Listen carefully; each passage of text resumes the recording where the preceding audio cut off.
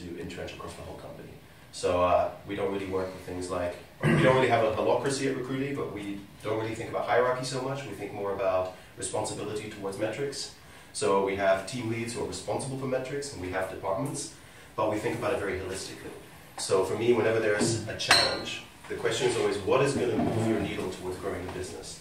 Which means that at Recruitee, it's also part of the fact that one of the C levels at Recruitee, which means I'm also very holistically involved in this. But I work with customer success, and I work with legal, and I work with finance. Because one of the things that's really, really important, I'm going to emphasize this throughout this talk, is the alignment between departments. You can't silo growth into one department who is thinking a certain way, and the rest of the departments don't really know what's going on. So I think it's really good that you have people from different departments here. Because there will come a point when you're growing really fast where you find that maybe your biggest blocker isn't going to be ads, but it might be finance, for example. If you only have one finance person, we had this, we had one finance person, we couldn't keep up with invoices. So we actually had sale, a situation where sales had to slow down what they were doing because finance couldn't handle the invoice load. Or when we're working with DPAs and different legal um, processes with our clients, we would often find legal is the biggest blocker. We're trying to organize lots of events, there could be a legal blocker. So growth is something, it's one of the reasons I don't, you'll never hear me use the word growth hacking. I haven't in years, um, because I think there's a little bit of a misconception. There's a lot of people who call themselves growth hackers these days, and I, I don't like the word hacker in it, I think it's a bit misleading. So um, I like to talk about growth quite holistically, but I'm going to go through all of this. Just want to say it's really important that, the, that all of the departments align. Well, what, what's the misleading part? Well, first of all, you're not a hacker, let's be honest. 90% of self-proclaimed growth hackers nowadays don't really code. Uh, even though they say they do, most of them don't. Um, and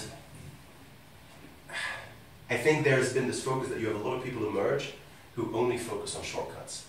And I think it's great that you want to be efficient and you want to be quick and you want to find the fastest and easiest and most efficient way to a result and you want to be data driven. So a lot of this kind of hacker culture can be very good. But you see more and more people misunderstanding it as, you know, let's scrape this list and cold email them and maybe this will work. But there's a difference between hacking away and trying to find shortcuts towards achieving something, and on the other side, trying to build a multi-million, if not billion dollar business. So I see a lot of people, a lot of marketers who adopt, what you have nowadays, is you have a lot of old school marketers adopting the new school, but you don't have that many new school marketers adopting the old school, which is the core principles of growing a business. You know, the psychology of users and customers, the general, you know, business and entrepreneurial and economic knowledge that you need. And I think that's been a problem quite a lot. Also, when I've been hiring growth marketers, you have these people who can, I'll give you an example, they can hack away at their Facebook audience like an absolute boss, then the copy they write in the ad is crap, and it doesn't perform. And then the ad's not performing because the copy doesn't reflect the product or the user's pain at all. And then they're still tweaking and kind of micro-optimizing things 10, 10 steps down the funnel even though they don't have their base foundations right. So this is one of the reasons I, I try to avoid the word hacker as a whole because there has been this big movement of people who think that they're growth marketers, but they're actually not. Because what they do works when you're trying to get 10, 15 customers. But if you're trying to grow a business over one, two, three years with a roadmap, OKRs, KPIs, the hacking part is not the most important part always. So I think a lot of the stuff that goes into the hacker mindset should be in your mindset anyways. But I'll go into this as we go along. So I want to start with defining growth. Does anyone here have a, like a preset definition in their mind of growth? Like, what have you guys heard? Yeah, I always, I always like to define growth marketing as data-driven, data-driven marketing. Yeah. I think experimenting is really inherent also on it. Mm-hmm. Yeah, I don't think there's a specific definition set for it yet, yeah. but I think those two are really important: data-driven and experimenting. So rapid ex experimentation, I should say. Yeah. I would define it as getting out of your comfort zone. Mm -hmm. uh, getting from where you're now to somewhere else. Yeah. Yeah, not, not only focusing on, on acquisition or awareness, but also like on the entire funnel. Yeah. Cool. You don't all have to, but if you want to, feel free. no. Does uh, marketing, uh, the word marketing has to go with growth, or can growth live by itself? Well, we're going to discover that as we go along. we're going to discover that as we go along. That's a very good question. So this is the hard thing, which is growth hacking and growth marketing when it emerged was this totally new approach. It was taking the concepts of you know the lean movement and applying it to marketing. That's essentially how it emerged. Thinking full funnel, being data driven, experimenting, so everything you guys said, thinking outside of the box, leaving your comfort zone. I think these things were very true. So when growth hacking growth marketing started kind of like a movement, Um, because it started like a movement, we started assigning kind of what I would see as best practices as the definition. Because at the end of the day, you know, you'll hear some people will call it marketing, some growth hacking, some growth marketing, some growth. There's so many words out there. And I always try to think about what is the definition of this thing. Because I used to teach this at Growth Tribe a lot, and you say, well, you need to be data driven, you need to experiment. But then you take someone who has all of this knowledge and taken two days or six weeks of course, you put them inside a company, and then you have the reality of there's all these different people, there's these different roles. The stuff that you read on paper won't always apply in practice. The challenges you had on paper won't always apply in practice. So this, how do you make a definition that applies across the board? So I try to think about this a lot over time and really think about what are the core disciplines that constitute growth. Because now that growth marketing is more than just a hype, because when you had the rise of the hype, you had the emergence of a lot of influences, like who's, who's sort of Josh Fechter, Hmm. okay, Gilles Klerk, these kind of people. Okay, I don't have the best reputation on talking about them because uh, I'm not always super kind to the kind of pseudo inspirational, let's space out our LinkedIn posts to get a lot of clicks kind of people. But what you see is these people are no longer active ever. And there's a reason because growth marketing started as a hype and as a movement. So when there's a hype and a movement, it's easy to get away with inspirational fluff. But now, data driven is just the new way to go. So at the time, you had to educate people, oh, it's about being data driven, but now everyone should be data driven no matter what you do. You have data driven sales, you have data driven marketing, you have data driven customer success. So suddenly, if you only focus on the data-driven, uh, if you only focus on the data-drivenness, it no longer defines marketing in itself or growth in itself. The same thing applies. For example, we try to avoid using words like content marketing because when have you ever seen marketing without content? Every ad is text.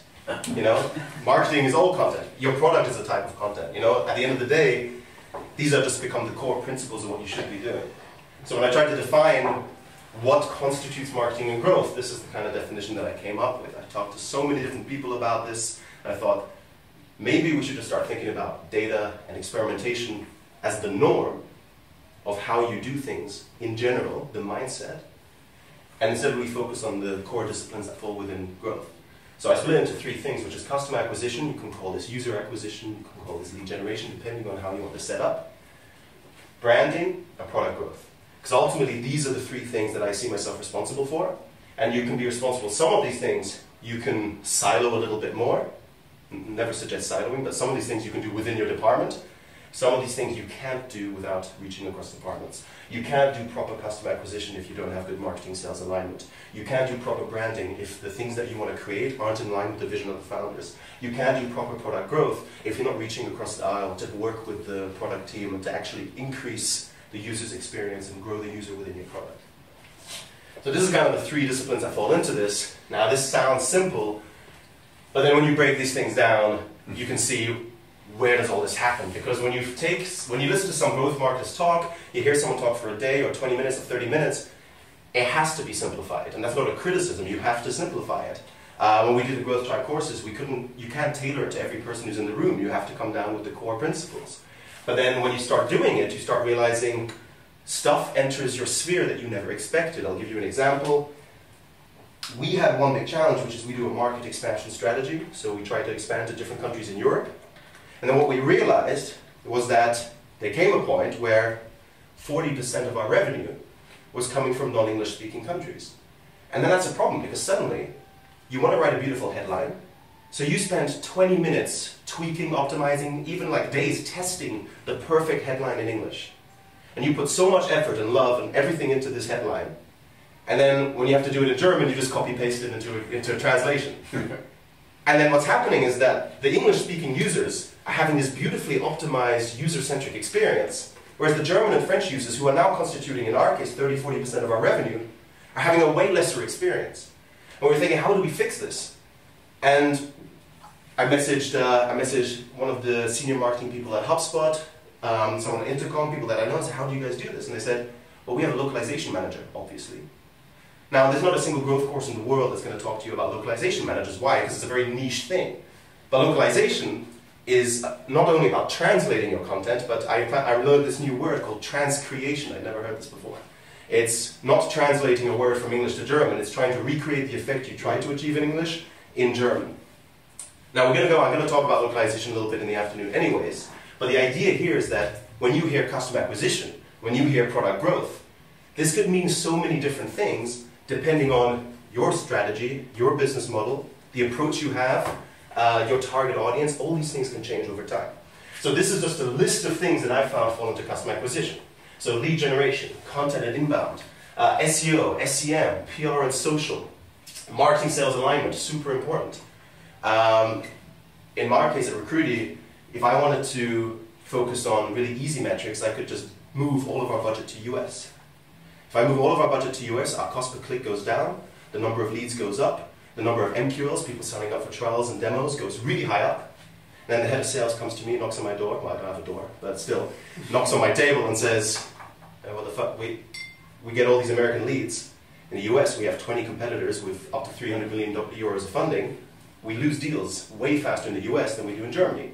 Because in Germany, they want you to be have your data center based in Germany. So already there's only two companies competing with us in the world when we're dealing with German clients.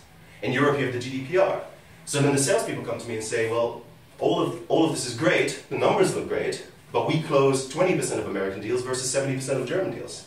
So maybe even if you're say, maybe if you're having your price on a certain region, if you were to shift it back, we would actually make more money in the long run because the deals close better. So that's why you can't silo this stuff off. So marketing and sales alignment is super important. Product marketing, conversion rate optimization, A-B testing, lead nurturing, market expansion, everything from the strategic to the executional, this all kind of falls into here. So that's kind of how we define customer acquisition. Now this doesn't mean that you're going to do all of these things, by the way. You will do the things that matter most. And you need to test these things. This is where experimentation and testing comes into play. Validating which of these are going to move the needle the most. Branding, same thing. I don't come from a traditional branding background. I come from a customer acquisition, move to product growth background. So for me, branding was always more of a nuisance than a, than a, than a goal. Often, you know, you want to ship a landing page, but then it's not in line with the brand, so it gets slowed down. But what I realized, and this is again something that if you are too much focused on the hacking stuff, you might neglect, branding is super important because you have competitors and you have a lot of people and you know you think your product's like you, you think your product's this good everyone thinks their product is this good but their product is actually this good and when you're talking to a user they think the product they're using is this good even though it's actually this good so you always, your product needs to be twice as good as the user thinks their current product is for them to even bother switching over it's really based on an intercom principle that they use and then branding helps do that a lot so when you have a strong brand, a strong brand presence, you can actually retain users even if there are better solutions on the market. There's a lot of companies that do this really well. And when you have overload of content, overload of communications, having a strong brand presence really lets you set yourself apart. So it's something that we found that we had to embrace because in the early days when you're trying to get your first 100, 200, 300 users, you don't really care about this stuff that much. But eventually you really need to start focusing on this. And then there, all kinds of stuff comes in line from design to content to communications to PR to the events that you organize. Everything that communicates, communicates the image of your company outwards falls into branding. And then this is the part where what David said also that you want to go full funnel, you want to go deeper, is product. Now this is probably the biggest change in marketing in the last five to ten years, which is that marketing is no longer something where you're attracting attention to an existing product that you can't really change or adapt. It's really two-sided, which is you're trying to sell a product to people, but you're also trying to build a product that people are going to buy. And this is the big, big difference between marketing today and marketing back in the day. And this is still something that gets neglected by about 85% of companies in Europe. Because it's not easy. You need to have a completely different skill set. You need to be able to work with product people and align with them very directly. And you need to be able to align the goals, these goals and these goals and these goals quite closely.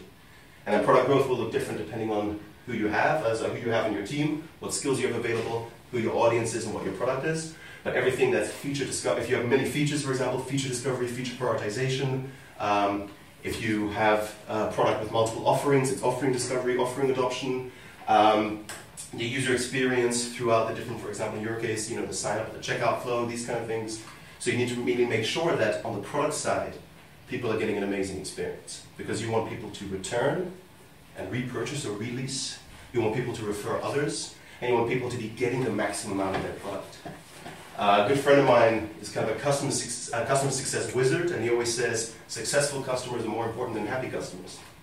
That's really important. Understand what your customer wants to achieve and make sure they're successful with your product. Now, it might be emotional goals they have, it might be practical goals, it might be professional goals.